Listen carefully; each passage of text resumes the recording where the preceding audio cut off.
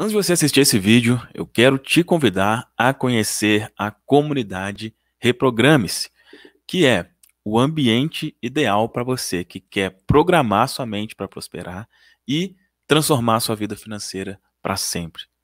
Por que, que eu posso te afirmar que lá é o ambiente ideal para isso? Porque dentro dessa comunidade você vai ter absolutamente tudo que é necessário para você não só programar a sua mente, mas também ações práticas. Tá? Você vai ter treinamentos e ferramentas que vão te ajudar e muito a realmente programar a sua mente. Mas não só isso. Você vai aprender a fazer dinheiro na prática. Caso você tenha um negócio, por exemplo, você vai aprender sobre vendas, sobre divulgação. Se você não tem um negócio, você vai aprender. Talvez você queira ganhar mais dinheiro, mas não tem ideia do como. Lá você vai aprender também. Além disso, ainda sobre treinamento, você vai ter treinamento sobre organização financeira, ou seja, tudo que é necessário para você realmente ter uma vida próspera, você vai encontrar dentro da comunidade Reprograme-se. E além disso, você vai ter encontros quinzenais comigo, lá dentro da comunidade, onde eu vou poder tirar dúvidas, fora o network com pessoas que têm o mesmo objetivo que você, que é de prosperar financeiramente. Essa semana de lançamento, você tem uma condição mais que especial para participar da comunidade. Clica no link que está aqui na descrição e conheça. Ok? Fique aí agora com o vídeo. Como vencer crenças limitantes sobre dinheiro e criar uma mente próspera? Para deixar claro, que, que são as crenças limitantes sobre dinheiro? É quando você tem um pensamento que é contrário à prosperidade financeira. Eu divido esses, esses pensamentos, essas crenças, em quatro partes. Primeiro, é a, a crença do eu não posso. Eu não posso. Eu não posso prosperar. Eu não posso no sentido de ser errado. Tá? Muita gente acredita que é errado. Ah, não. Por aqueles motivos que a gente já conversou aqui, né? Deus não fica feliz, é, seria injusto, tem muita pobreza no mundo, enfim, e vários outros tipos de pensamento, né? Então, essa é a crença do eu não posso, ou seja, não seria 100% bom. Existe uma segunda crença, que é a crença do não mereço. Crença de não merecimento. Possivelmente você já ouviu isso, né? Muito comum, crença de não merecimento. Terceira, crença de é, não sou capaz, não consigo, não consigo. E a última, que é a principal delas, que é o que realmente faz tudo acontecer, são as crenças de identidade. Crença de identidade. O que é a crença de identidade? Com que você se identifica? Se você se identificar com a pobreza, você vai ser pobre. O que é o se identificar? É o eu sou, né? Eu sou pobre. Você, você falar, você tem isso, você tem, tipo assim, você fala de pobreza, você fala, ah, tá falando comigo. Se você tiver isso, essa é uma crença de identidade, ou seja, você está se identificando com a pobreza. Só que essa última crença, para você se livrar dela, você precisa ter toda essas três primeiras, elas já precisam estar resolvidas. Você já precisa pensar que você pode, ou seja, que é permitido, que você consegue e que você merece. E aí depois você muda a crença de identidade. O primeiro passo para você eliminar crenças limitantes sobre dinheiro é você, se você conseguir, né, identificá-las, é muito bom. Né? Ou seja, você perceber como é que eu, ah, o que, que eu penso sobre isso, deixa eu ver qual que é o meu, a minha forma de pensar, tal. Deixa eu ver se eu tenho essas crenças. Tendo isso, você começa a questionar. Ou seja, vamos supor que você tem isso que eu falei aqui de da crença de, bom, eu acredito que é errado, que Deus não quer que eu prospere financeiramente. Vamos supor que você tem isso.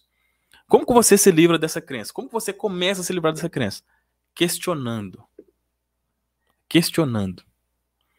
Por que que não faz sentido? Essa é a forma de questionar. Por que não faz sentido eu achar que Deus não quer que eu seja próspero? Toda mudança de paradigma no mundo começou com um questionamento. Tudo. Sempre um questionamento. Existia, né, até pouco tempo atrás, uma ideia de que as mulheres não poderiam trabalhar fora. Não tinha essa ideia?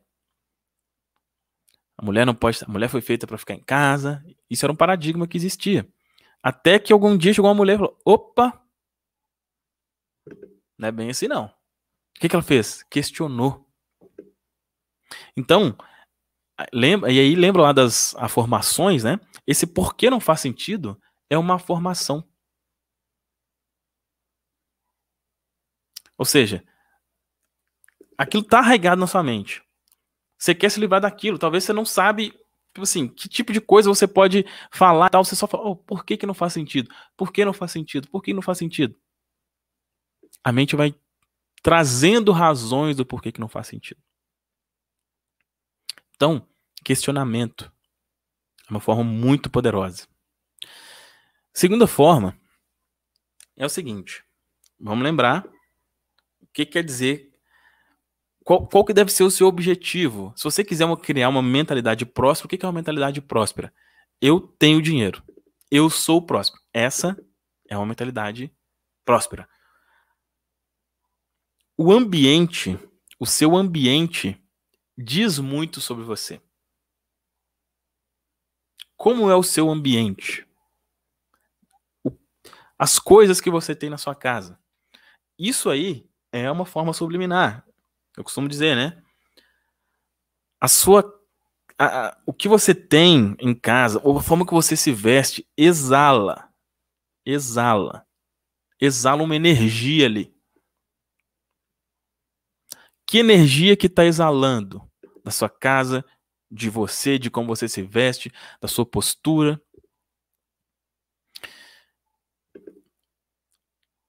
Não tem como. Olha só como é, é, é engraçado isso. Tem um, tem um livro, ele chama O Poder da Presença. Esse livro ele fala da postura. Ele fala da postura. Como que assim a postura modifica a sua mente? Por exemplo, não não tem como, olha só, não tem como. Então vamos supor que você tem, por exemplo, essas crenças de não merecimento. Não tem como você ter uma postura assim, ereta, assim, uma postura, ok, beleza, e continuar com a crença de não merecimento. Não tem como. Deixa eu até tirar aqui da tela para ficar melhor. Não tem como. Não condiz. Uma pessoa que tem a crença de não merecimento, que tem a baixa autoestima, ela vai ficar assim normalmente. Ela vai andar assim de cabeça baixa. Se você muda a sua postura, isso muda a sua mente. Do, é, é uma, uma coisa influencia na outra. Da mesma forma que a forma como você pensa muda a sua postura, se você mudar inicialmente a sua postura, então se você ficar durante o dia assim, com uma posição, né? E aí não é o nariz em pé, é uma posição mesmo de uma posição ereta. Isso muda a sua cabeça. Engraçado, né? Então, postura e como eu disse, ambiente. Será que as coisas que você tem estão falando eu sou pobre?